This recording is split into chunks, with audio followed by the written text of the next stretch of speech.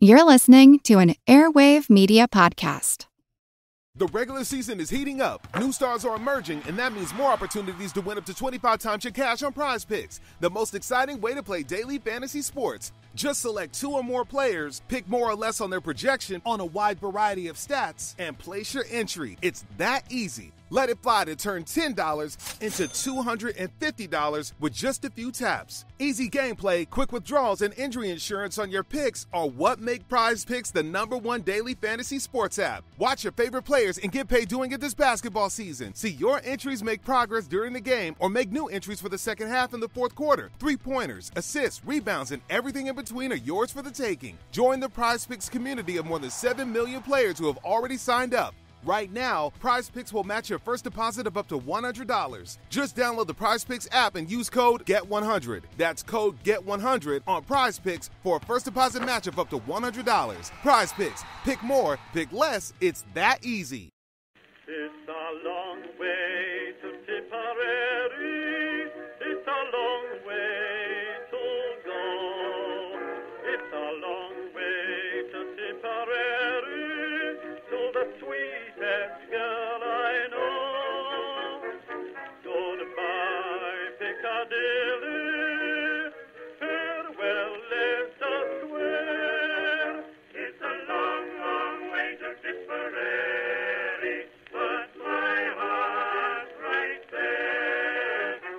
everyone, and welcome to History of the Great War, episode 206.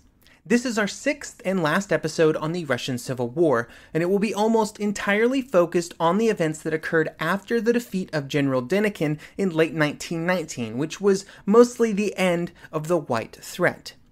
Throughout 1920, Communist Russia would move towards peace, with peace treaties signed with many countries that it had previously been at war with.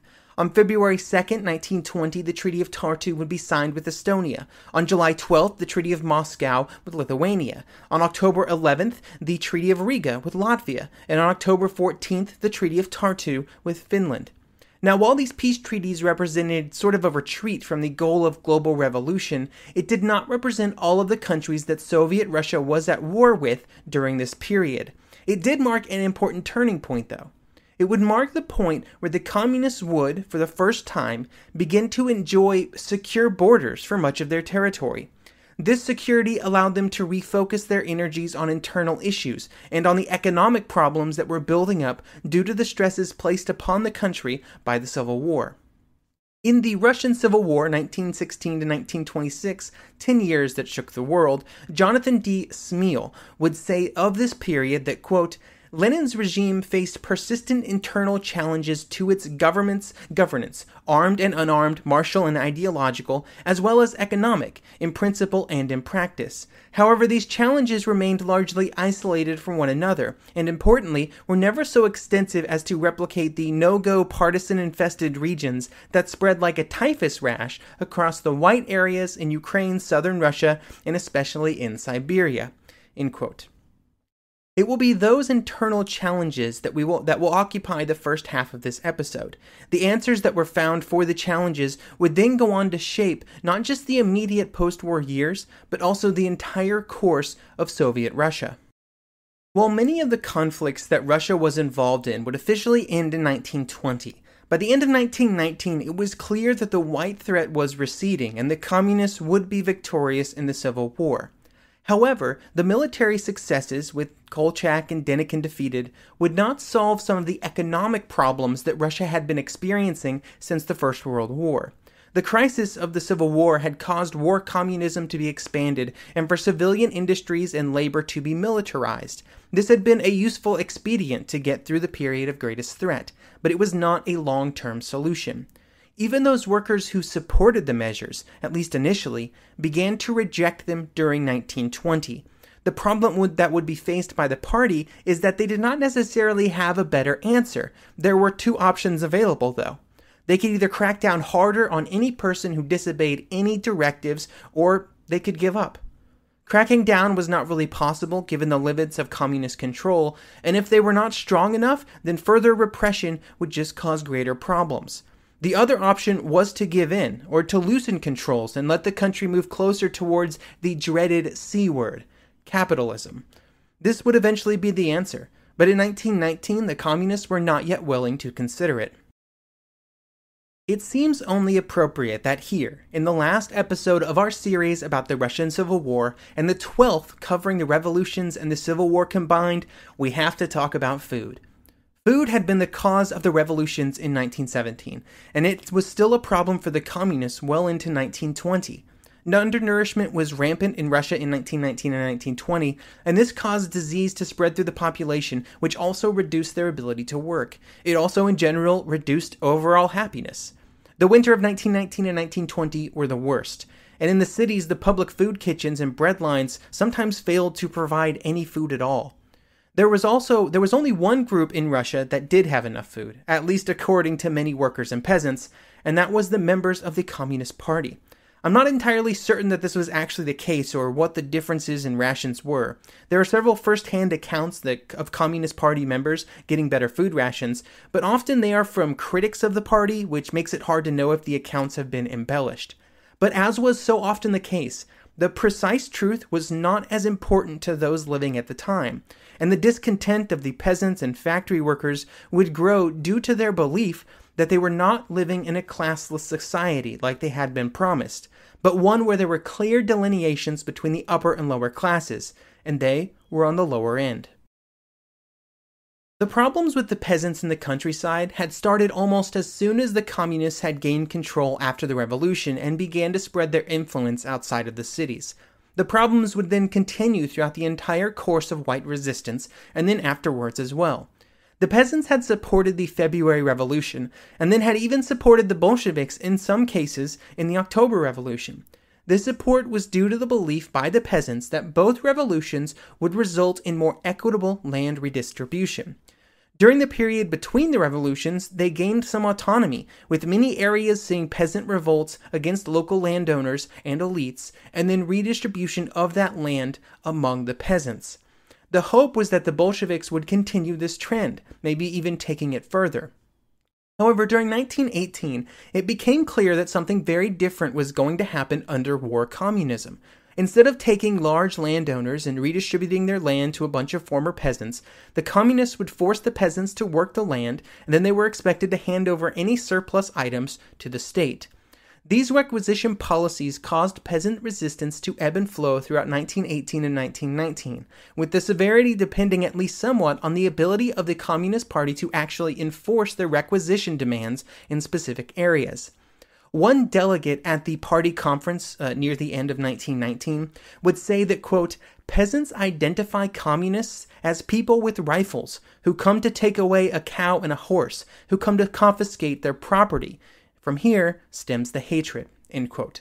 And I think that does a pretty accurate job of telling about the views of the peasants. They believed that they had gained their freedom after the February Revolution, and then the communists came and took that freedom away from them. This freedom was taken from them through requisitions, which were poorly managed and administered, which just made the entire system even worse. The lack of organization made the requisitions feel arbitrary and random, with some areas being requisitioned multiple times and others very rarely. All of the problems that the communists had were just amplified in the areas where the whites had been in control for a lengthy period. In these areas like the Ukraine or Don or Kuban or Siberia, the communist control apparatus was relatively weak, they were forced to start from scratch in many of these areas, and they reverted back to their older strategies. This meant dividing the peasants by class as much as possible, and then working with the poorer peasants against the richer ones. The lack of power in these regions meant that they often had to resort to using the Red Army as the stick instead of a carrot, with the army being called in to use violence to make resistant peasant groups cooperate. Just to be clear here, when I say that there was violence, it was not just a small bit here or there. While the numbers are all over the place, some estimates put the total number of peasants killed in places like Ukraine, uh, Kuban, Don, and the Siberia regions in the millions. This was due both to direct violence by the communist groups and the Red Army, and due to the harshness of the requisitions that were executed on them, which caused famine and other hardships. Throughout 1918 and 1919, this caused the constant simmering of tensions which flared up from time to time in fighting, But in 1920, this fighting would reach new levels as tensions boiled over. Even in the areas where the violence against peasants was at its height, it was often not applied evenly. It was also, more often than not, applied in a ham fisted and incompetent way.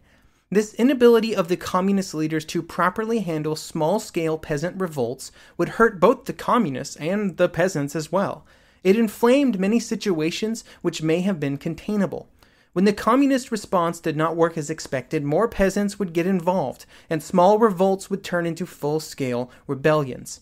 Once these rebellions grew to a certain point, the Red Army, for all of its strength against traditional opponents, could only resort to mass violence. The peasant groups had an advantage. They were often fighting in areas around their own villages, where they could count on the support of the people. This is why the revolts by the peasants, which were called the Green Movement, and even though the Red Army was the strongest military force in Russia, trying to protect its power over the entire countryside, a hostile countryside, and Russia's pretty big, was still an incredible challenge. When waging a guerrilla war, it did not matter that the Greens were spread out, poorly supplied, disorganized. There were large numbers of them, and they were all fighting for roughly the same thing. One of their slogans was Soviet power without the communists, which signified their belief that Russia should return to that period of Soviet and socialist power that it had enjoyed during the provisional government.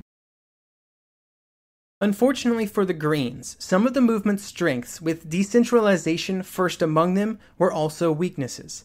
They could not overthrow the communists. They were not organized or strong enough. All they could do was actively resist communist policies, and through this resistance, attempt to force the communists to enact changes. This resistance was very costly. The Red Army moved into the areas of strong green presence and answered that presence with more and ever escalating violence, which was costly to both sides. The disorder in the countryside would have been just one piece of the unrest that would occur throughout the entire country, disorder that would eventually lead to drastic changes in communist policy. It would take a few more instances of protests and violence before these changes would take place, and those changes would only come after the leaders realized that even though they had won the Civil War, they could not make the economy work the way that they wanted. The catalyst for those changes would be rioting in the cities, which would begin in the spring of 1921. Throughout the early months of that year, overall unhappiness in the larger cities of northern Russia grew. These were areas where communist strength should have been the strongest, cities like Moscow and Petrograd, where the October Revolution had started. However, it was also these areas that had a history of revolutionary movements, and they would soon try to once again revolt, only this time against the communists. In February, thousands of workers went on strike in Moscow, and a few days later, a march was organized which would see 10,000 workers move through the city center. They were protesting against the rations that were being provided with that they were being provided with by the government. A month later, the bread a month earlier, the bread ration had been cut to just 1,000 calories for workers in the factories, barely enough to live on. They called for an end to the privileged rations for members of the party, but also, critically, the removal of all restrictions on free trade and movement within Russia.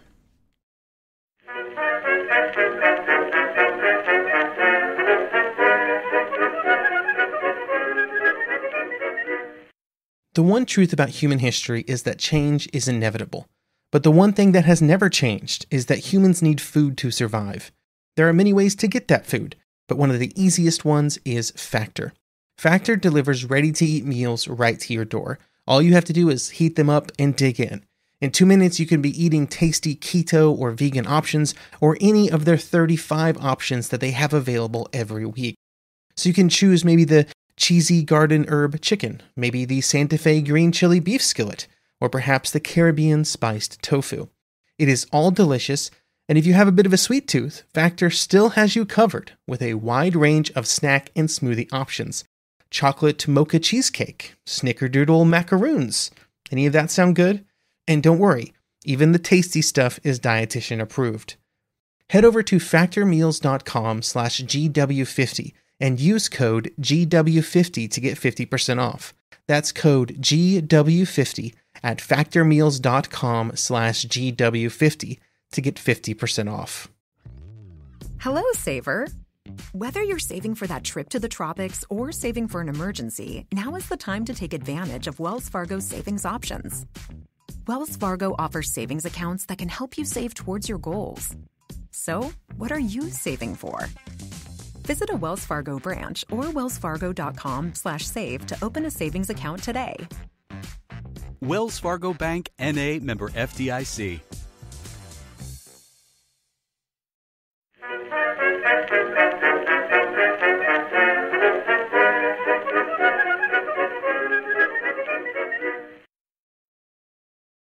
The revolt of the workers was not limited to Moscow. In early March in Petrograd, the sailors of the Kronstadt revolted. These sailors had been at the very heart of the earlier revolutions, and their revolt was far more impactful than any other strike or march that would take place in other parts of the country. Similar to the workers in Moscow, the sailors demanded less power for the communists and the removal of all the bans on opposition meetings. They wanted the old parties like the left SRs and the anarchists to be able to once again openly form and meet. In essence, they were rejecting the dictatorship of the Communist Party. They believed that this dictatorship had perverted the ideals of the original revolution, pointing to the party's privileges as a key example of this perversion. These protests would prompt Lenin to support a ban on all party groupings outside of the Central Committee, a new policy that he would announce at the 10th Party Congress on March 8th. At the time, this was seen as a necessary step to curb the protests throughout Russia. It would also have drastic ramifications when Stalin used it as justification for, well, a lot of the horrible things that Stalin did. For the sailors in 1920, it meant that the Red Army would soon be moving in to crush their resistance. Fighting would begin on March 7th with an artillery duel between the sailors and the soldiers, and over the next week, the Red Army made several assaults on the sailors' positions inside fortifications in Petrograd, assaults that were unsuccessful. Eventually, the sailors ran low on supplies and munitions, and on the 18th, they were defeated. While the sailor revolt was unsuccessful, it did prove to be just another sign that war communism and communist economic and political policy as it existed in early 1921 was not popular and may not have been workable at all. The solution, as proposed by Lenin and some of the other communist leaders, was the New Economic Policy, or NEP, the NEP represented at its core a bit of a reversion away from the communist ideal and towards a more traditional economic model. This was all prompted by the toxic relationship that had developed between the party and the peasants and workers. Lenin believed that this crisis caused by the toxicity required large changes, even if those changes represented a step away from the ideal communist future. The NEP included an almost complete abandonment of forced requisitions of all surplus goods in the countryside, the abolition of compulsory labor, and the reintroduction of private trade. Not only would this new trade be legal and encouraged, money would also be reintroduced into the economy to facilitate it. All of these activities would then be taxed by the state. This represented a move towards capitalism, the state would retain control of some of the larger industries, but many pieces of the economy would be functioning under something that looked a lot like Western capitalism. There was still some lip service paid towards instituting full economic communism at some ambiguous point in the future, but there was not any concrete information on how this would happen. The introduction of the NEP was an important turning point for the revolution. It represented the end of the idealistic period of revolutionary zeal and the resignation by the communist leaders that a worldwide revolution, for which they had been but the vanguard, might not happen. It would also separate the party into two groups those who supported the NEP and saw it as a necessary evil, and those who had always believed that the better course would have been to force the peasants, workers, and anybody else who resisted into line by whatever means necessary. This split would play a critical role in the fracturing of the party after Lenin's death, with Trotsky and Stalin both taking very different views on the NEP, and that being a key point in their disagreements, which would eventually lead to Trotsky's exile and Stalin's rise to power. Now, while the NEP represented an important sea change within communist Russia from an economic perspective, it would also be introduced at a point where the relations between the communists and other countries around the world began to quickly change. During the revolutionary period and the early Civil War years, the concept of a worldwide revolution had been a key talking point of the communist leaders. To this end, the new Internationale had been held in Moscow on March 1919, with the goal of taking the communist principles and applying them to, at the very least, the rest of Europe.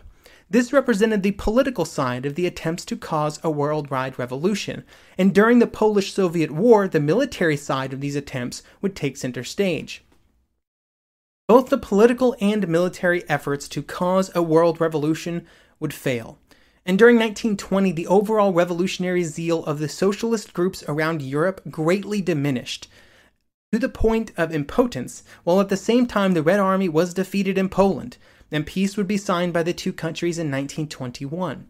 These defeats, both politically and militarily, caused Lenin and the other leaders to reset their goals for the revolution.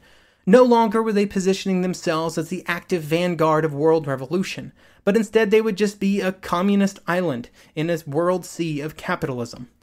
On November 21, 1920, Lenin would state, quote, We are in the position of not having gained an international victory, which for us is the only sure way of victory, but of having won conditions enabling us to coexist with capitalist powers who are now compelled into commercial relationships with us. In the course of the struggle, we have won the right to an independent existence. This represented a change, just as important as the NEP did in the economic arena. In future years, even when the opportunity presented, its, presented itself, like it did in Germany in 1923, the Russian communists would be divided about the possibility of supporting any revolutions outside of their country. One of the many failed efforts by the communists to spread the revolution went in the direction that was far from Europe. It would be in the form of the First Congress of Peoples of the East, which would be held in Baku, uh, Azerbaijan, in early September 1920. Here, the Russian communists would attempt to work with the socialist groups from many other countries, with almost 2,000 delegates attending, representing 29 nationalities from all over Asia. Many of these representatives were from European colonies or protectorates at the time of the meeting, and so much of the conversations revolved around uh, overthrowing the imperial invaders. Lenin would say that the main purpose of the Congress was to, quote, work out or to outline a practical starting point so that the work which hitherto has been conducting among hundreds of millions of people in the East in a disorganized manner should be conducted in an organized manner, unitedly and systematically. The Congress is interesting to discuss because it would put in stark relief many of the problems that would have to be solved by the Russian communists if they truly wanted to lead a world revolution. There were practical problems like language. With so many delegates, for, delegates from so many different peoples, the speeches had to be translated multiple times, which took a lot of time. Eventually, only three official translations were allowed Russian, Turkish, and Persian, just so enough speeches could be made.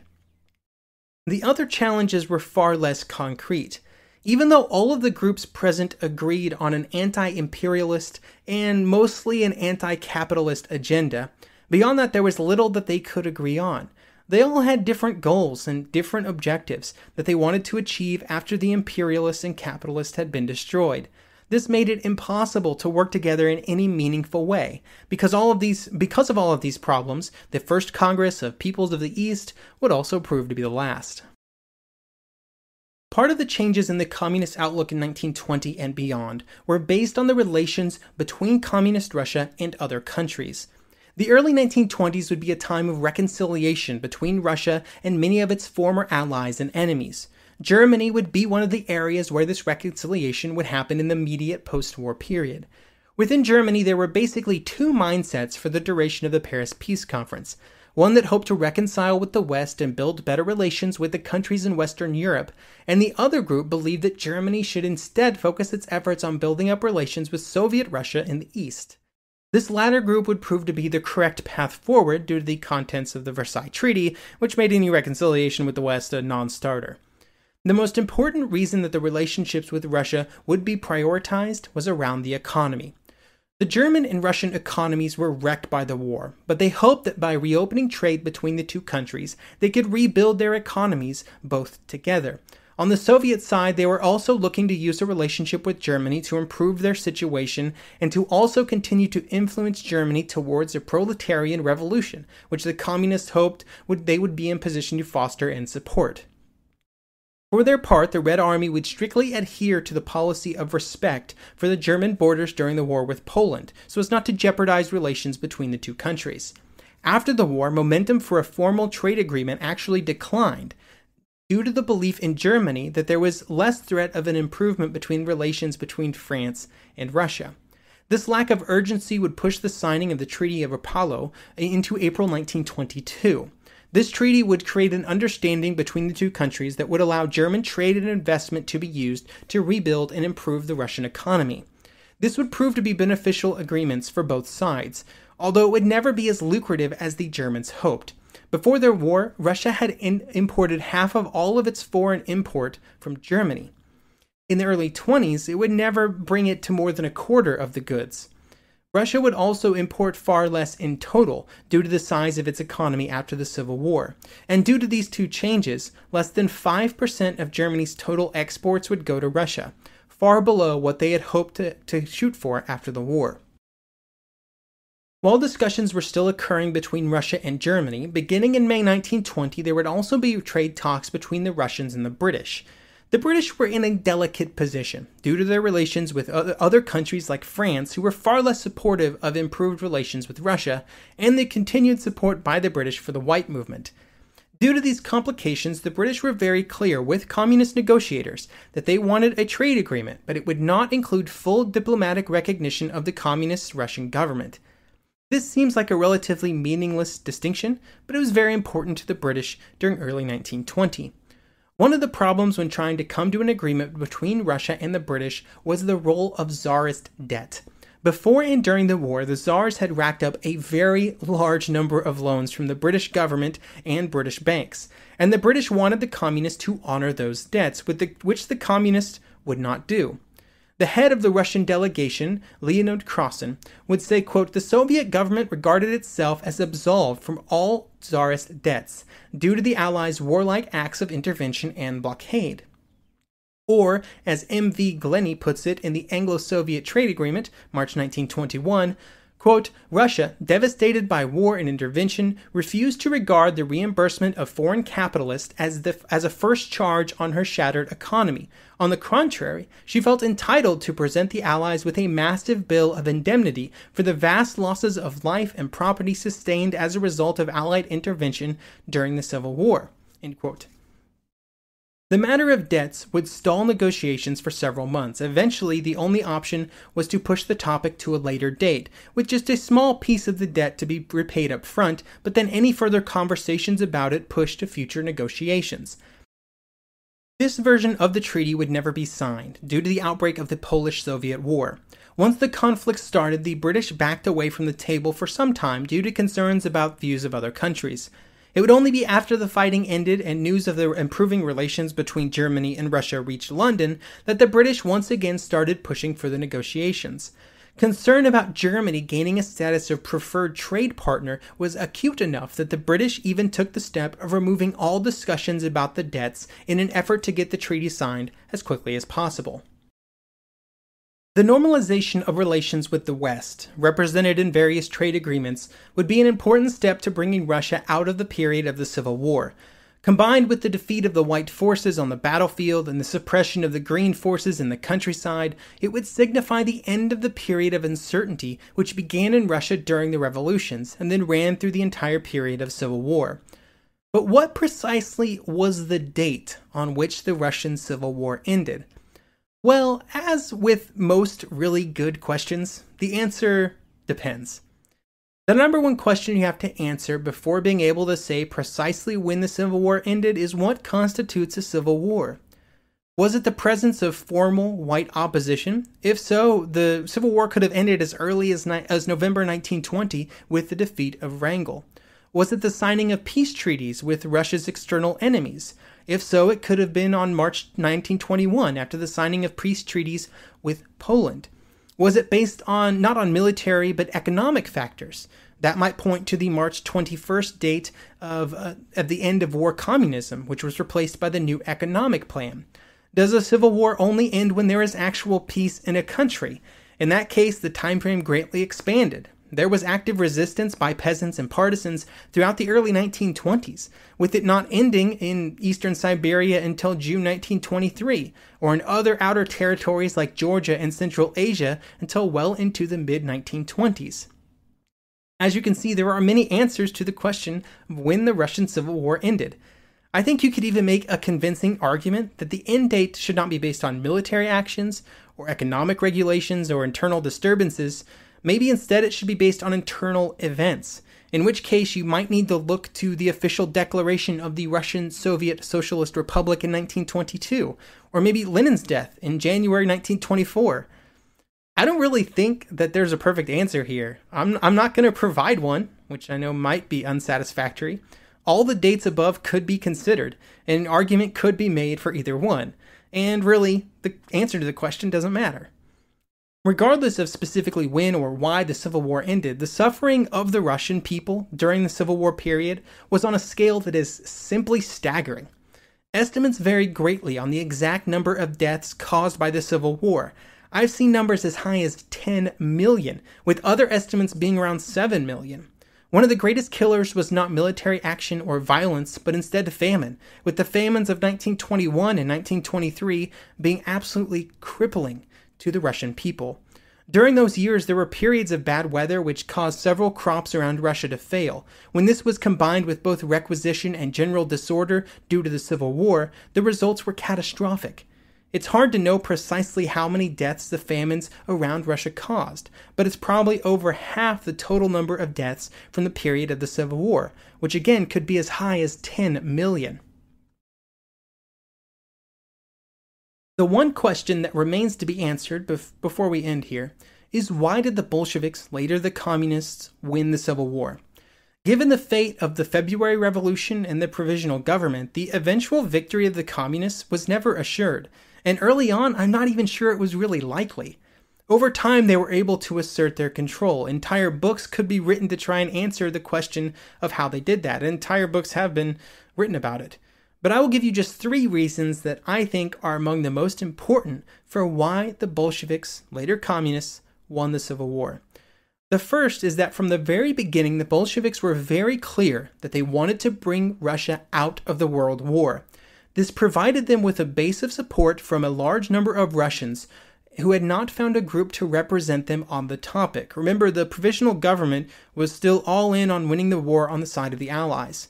The second reason is that the Bolsheviks found their support in just the right places. Unlike the SRs or the Mensheviks, who had led the provisional government and had found their greatest support in the countryside, the Bolshevik support was concentrated in the city, and this made it easier to control, direct, and organize. It also provided them with much more potent geographical positioning once the Civil War got moving in earnest. It provided them with just more people during the Civil War period. The third reason is that while the Bolshevik leaders were idealists, especially when it came to communism as an ideal, they were not afraid to move away from those ideals when the situation demanded it. This adaptation is a theme that's been running throughout the entirety of these episodes, from the introduction of war communism to its eventual removal due to the implementation problems, to the ban on factions and the brutal, violent suppression of any individuals who spoke out against the actions of the party. It also meant smaller things that we've barely touched on, like corruption and favoritism within the party, which caused a few problems, but also meant that the communist leaders had a base of support within the party itself. This third reason set the communists apart from the provisional government or many other revolutionaries of this period. The socialists in the provisional government had been far too idealistic, too concerned with failing, to take some of the drastic steps that were required to stay in power, a concern that the Bolsheviks had been able to take advantage of when they first rose to power in 1917. When they were then in power, Lenin and the other leaders would not let hesitancy or idealism get in the way of staying in power longer. It should be said, though, that while this drive and ability to adapt allowed the communists to win the Civil War, it also irrevocably altered the makeup and trajectory of communism in Russia. By the end of the Civil War, whenever you think that was, communism in Russia bore little resemblance to the ideals of 1917. Instead, they had been altered and mutilated so that the communists could assure victory in the Civil War. That is all that mattered. It would be those same alterations that would not just allow, but in many ways facilitate the rise of one of the most brutal and violent dictatorships in history, under the leadership of Joseph Stalin. Thank you for listening, and I hope you will join me next episode as we begin a series on an event that I have referenced several times in the last few episodes the Polish Soviet War.